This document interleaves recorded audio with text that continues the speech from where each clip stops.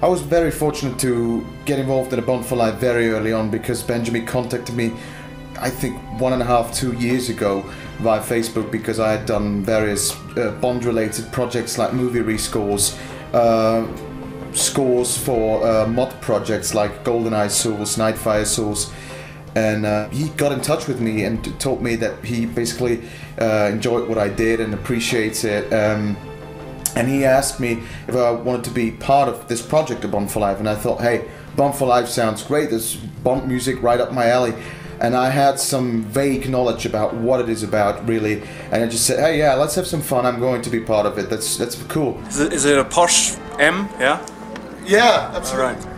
Since this is not a Bond documentary, it's a personal documentary with the Bond touch to it, uh, and also incorporates the Bond thing and Bond fandom into it. There was quite a big amount of, of other music that had to be written uh, apart from James Bond music, like uh, suites for for light, for great landscape images or just personal stories and that got quite frightening and you know thinking of only thinking about it that you are going to score a person's highlights and low points in his life was quite threatening but benjamin was always very great and supported me and he was very kind and generous and always said you know don't worry we'll get through it we're just we're just gonna make it it's not a problem don't worry just i'll trust you and it's gonna be fine Have a gentle fade yeah out of the music. yeah yeah Huh?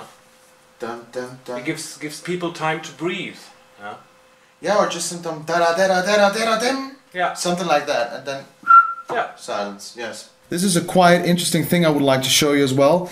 This is uh, how i record uh, brass woodwind instruments.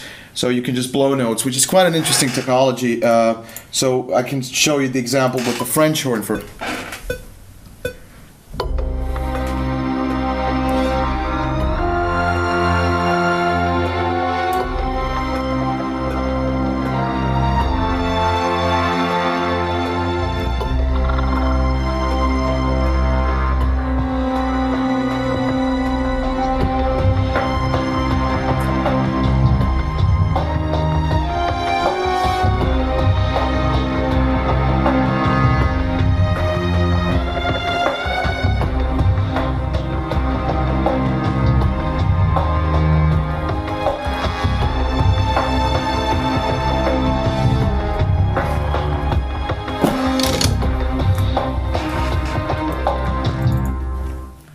Bond for Life really means a lot to me. It's really, it's such a unique and special project. It's something that's never been done before and probably uh, will never be done again. And so it was special for that alone.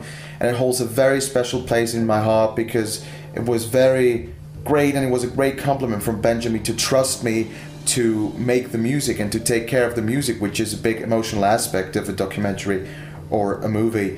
And just the emotional value of the whole project is just you, you can't measure that. And uh, what I always like to say is how many times in life do you get the chance to score a movie project uh, that features various Bond girls and uh, Academy Award winners and big actors and songwriters and all that kind of stuff from the Bond world that we love so much. I mean, how many times in life do you get that chance?